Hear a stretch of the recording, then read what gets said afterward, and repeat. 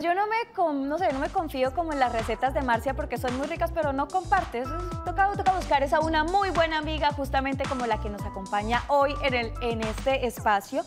Y es que hoy justamente estamos con Denise González. Ella es psicóloga clínica, también coaching con más de 10 años de experiencia. Y le damos la bienvenida en Necesita una amiga. Denise, ¿cómo estás? Feliz tarde. Hola, hola, buenas tardes. Tampoco puedo ayudar con el tema de las arepas o cañeras, pero más que feliz de ayudar con las cartas de nuestros televidentes hoy. No, sí, sí, nos toca escribir una carta, Denise, como, eh, hola, me llamo Diana Mesa y necesito la receta. Eh, no, mentiras.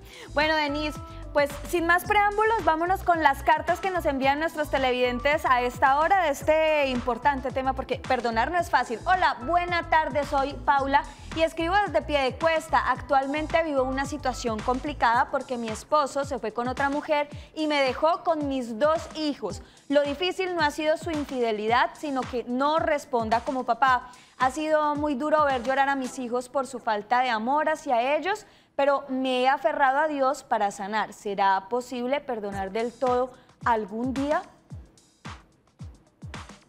Sí, es posible. Definitivamente es posible y debes iniciar recordando que perdonar no es algo que vas a hacer por él. Perdonar no es algo que hacemos por la otra persona. Perdonar es algo que hacemos por nosotros mismos porque es el primer paso hacia sanar antes de que pienses siquiera en perdonar, debes tener muy claro lo que no es perdonar. Eso te va a liberar un poco de, esas nociones preconcebidas que de pronto no nos dejan avanzar. Una cosa que perdonar no es, es excusar el comportamiento. Cuando tú perdonas, no estás diciéndole al otro lo que hiciste estuvo bien o no estás diciendo que no va a tener consecuencias de pronto dentro del marco de lo que exige la ley con respecto al comportamiento de un papá con sus hijos. No significa que olvidaste el incidente, definitivamente tampoco significa que no vas a tener más emociones al respecto. Simplemente es decidir que algo pasó, aceptar lo que pasó, aceptar cómo te afectó y soltar para empezar a vivir el resto de tu vida con intencionalidad. Pasar de esta página y recordar que nuestros hijos se nutren de lo que somos y si nosotros estamos llenos de, este, de esta amargura o tenemos esta falta de perdón, pues eso es lo que les transmitimos a ellos. Ellos no solamente aprenden por lo que nos escuchan decir, sino también por lo que ven y tu ejemplo es fundamental en ese proceso. Bueno, clave también, Denise, eso último. Vamos con una segunda carta de otro televidente Hola, me llamo Pedro, les escribo desde Arauca, me gusta mucho su programa. Imagínense que hace un año hice un negocio con un familiar para comprar mercancía y días después no apareció ni la mercancía ni la plata. Estoy pagando una deuda por el crédito que hice, a raíz de ese problema las familias se alejaron, siento mucha rabia y me cuesta perdonar. Espero poder recibir una orientación de cómo perdonar pensando en mí y en mi tranquilidad. Gracias. Bueno, ahí está entonces la carta de Pedro. Denise, ¿qué le decimos a él? Pedro, qué importante tu honestidad y qué importante ese primer paso de reconocer que necesitas tranquilidad y que el perdón, la falta de perdón te está robando esa tranquilidad.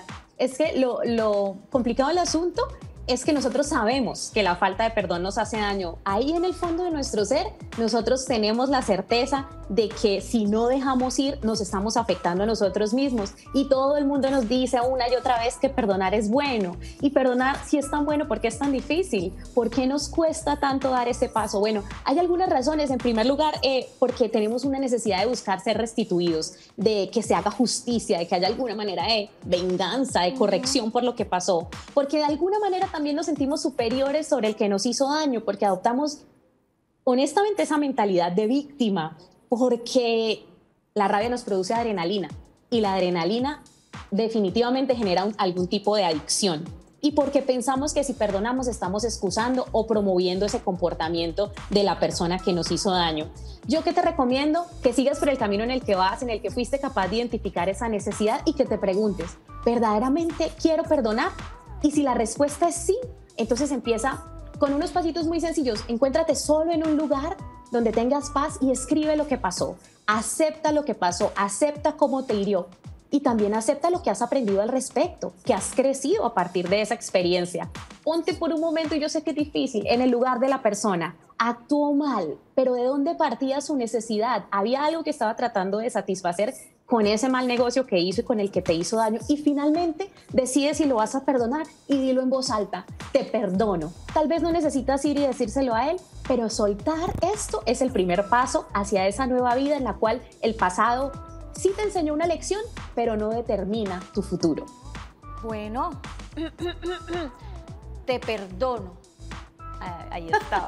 Denise, vamos con una tercera y última carta que nos envía un televidente hoy aquí a Tacones en la Mano. Y dice, hola chicas, soy Valeria y les escribo desde el Mutis. Quiero contarles que para mí fue muy difícil perdonar a mi papá, ya que nunca respondió por nosotros y vimos a mi mamá esforzándose por darnos lo mejor. Siento que ya sané y a veces lo llamo para saber cómo estaba, pero mi hermano jamás lo ha podido perdonar. Veo mucho rencor y odio en su corazón y eso me duele porque sé que sufre. Como hermana, ¿de qué forma puedo ayudarlo? Ver a nuestros seres queridos enfrentar situaciones difíciles es tal vez más difícil que enfrentarlas nosotros mismos. Cuanto más cuando como hermana tú te puedes poner en el lugar de él, y saber que el dolor que está viviendo le está afectando. Eh, la decisión de perdonar es tan individual, eh, incluso ni siquiera la podemos forzar como terapeutas y decirle a una persona que tiene que hacerlo, porque la persona debe estar lista para hacerlo, debe decidir perdonar. Así que estamos como un poquito limitados en cuanto a lo que tú puedas hacer eh, para que él inicie ese proceso. Lo que sí puedes hacer es de pronto fomentar espacios de perdón. ¿A qué me refiero? A que hayan conversaciones donde se pueda hablar, libremente sobre el incidente, sobre lo que pasó, donde tu hermano pueda este, exteriorizar eh, las situaciones, la amargura que le causa, el dolor, lo que vivió.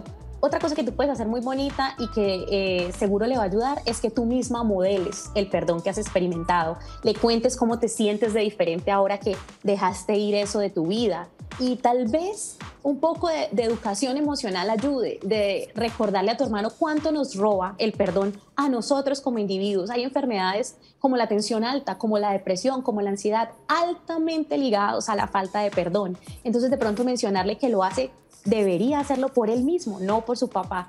Todas estas cosas eh, ayudan de pronto a exteriorizar. Dile que lo puede escribir, que puede hacer una carta donde saque todo eso y logre comunicarlo, no la tiene ni que enviar, pero ayudarle a pensar en que el perdón es una decisión que va a mejorar radicalmente su calidad de vida. El pasado ya pasó y es hora de enfocarnos en nosotros y en nuestro futuro. Bueno, pues súper chévere y gracias Denise por darle respuesta a las cartas de nuestros televidentes. ¿A quién necesita una amiga?